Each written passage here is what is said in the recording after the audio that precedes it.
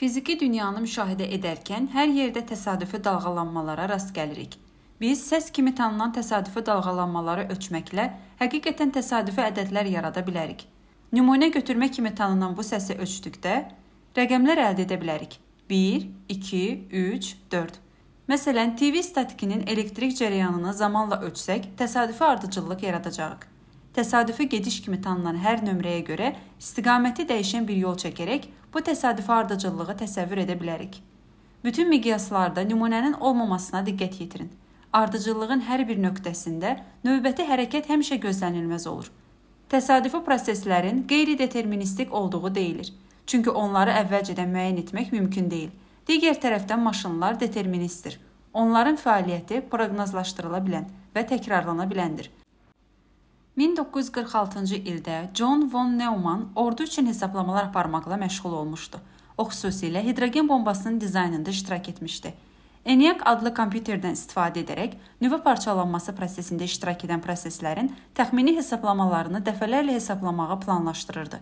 Bununla belə, bu lazımı gələrsə təkrarlana bilən təsadüfi yaradılmış nömrələrə sürətli çıxış tələb edirdi. Lakin ENIAC çox məhdud daxili yaddaşa malik idi və uzun təsadüfi ardıcıllıqları saxlamaq mümkün değildi. Beləliklə Neumann təsadüflüyün qarşılan aspektini aşağıdakı kimi mexaniki şəkildə simulyasiya etmək üçün bir alqoritm hazırladı. Birincisi, toxum adlanan təsadüfi bir ədəd seçin. Bu rəqəm səsin ölçülməsindən və ya millisaniyələrlə cari vaxtdan gələ bilər. Sonra bu toxum sadə bir hesablamaya giriş kimi təqdim olunur. Toxumu özü ilə çoxaldın və sonra bu nəticənin ortasına çıxarın. Sonra bu çıxışı növbəti toxum kimi istifadə edin və lazım olan qədər prosesi təkrarlayın. Bu orta kvadratlar metodu kimi tanınır və qismən təsadüfi say generatorlarının uzun bir xəttindən yalnız birincidir. Ardıcıllığın təsadüflüyü yalnız ilkin toxumun təsadüflüyündən asılıdır. Eyni toxum, eyni ardıcıllıq. Beləliklə, təsadüfi yaradılan və qismən təsadüfi yaradılan ardıcıllıq arasında hansı fərqlər var? Gəlin hər bir ardıcıllığı təsadüfi gediş kimi təqdim edək.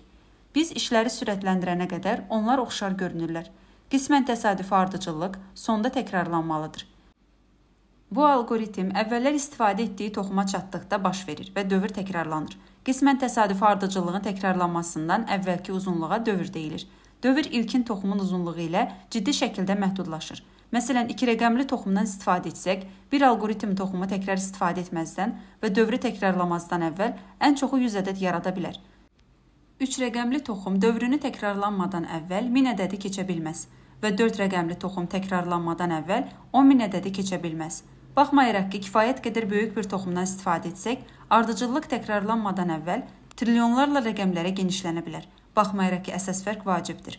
Qismən təsadüfi nömrələr yaratdığımız zaman baş verə bilməyən çoxlu ardıcıllıqlar var. Məsələn, aliyə 20 növbədən ibarət təsadüfi ardıcıllıq yaradırsa, Bu bütün mümkün növbələr yığınından vahid seçmə bərabərdir. Bu yığın astronomik ölçüdə olan 26-dan 20 səhifəyə qədərdir. Əgər biz aşağıda dayanıb yuxarıya doğru işıq saçsaq, yuxarıdakı bir insan təxminən 200 milyon il işığı görməyəcəkdir. Bunu 4 rəqəmli təsadüfi toxumdan istifadə edərək 20 qismən təsadüfi ardıcıllıq yaradan aliyə ilə müqayisə edin. Bu 10 min mümkün ilkin toxumdan vahid seçmə bərabərdir. Yəni o yalnız 10 min müxtəlif ardıcıllıq yarada bilər ki, Bu da bütün mümkün ardıcıllıqların yoxa çıxacaq dərəcədə kiçik bir hissəsidir. Təsadüfdən qismən təsadüfi yerdəyişmələrə keçdikdə biz əsas məkanı çox, daha kiçik bir toxum sahəsinə daraldırıq. Beləliklə, qismən təsadüfi ardıcıllığın təsadüfi yaradılan ardıcıllıqdan fərqlənə bilməməsi üçün kompüterin bütün toxumları sınaması və uyğunluq axtarması praktiki olmamalıdır. Velosiped kilidi alarkən də eyni məntiqdən istifadə edirik. Biz bilirik ki, hər kəs sadəcə olaraq bütün mümkün kombinasiyaları sınaya bilər uyğunluq tapana və o açılana qədər. Ancaq bunu etmək üçün onlara günlər lazım olacaq. Beləliklə, 8 saat ərzində onun praktiki olaraq təhlükəsiz olduğunu düşünürük. Qismən təsadüfi generatorlarla toxum uzunluğu artdıqca təhlükəsizlik artır.